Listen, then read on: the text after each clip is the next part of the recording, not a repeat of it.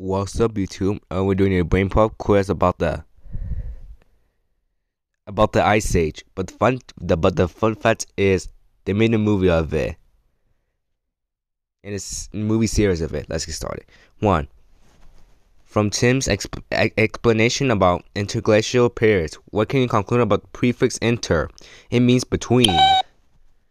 2. How is a glacier different from an ice sheet? Glaciers are moving rivers of ice. Ice sheets are immobile slabs. 3. Which of the following creatures could be described by the term megafauna? Let's see. An elephant. When he turned to a hairy elephant. 4. Hard glacia- glacians different from ice ages. Glacians are shorter and more intense. 5. What can you conclude from the fact that animals that live in the tropics have been known to live areas currently covered in ice? Over millions of years, the Earth's climate has been extremely dynamic. 6. Which word best describes the pattern of ice ages throughout Earth's history?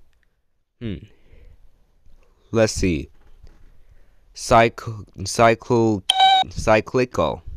7. If you wanted to take a to take a core sample an ice sheet, what what would you need? Hmm. Let's think about it. A special drill. 8. Which of the following geologic features was created by glaciers? Hmm. Let's think about it.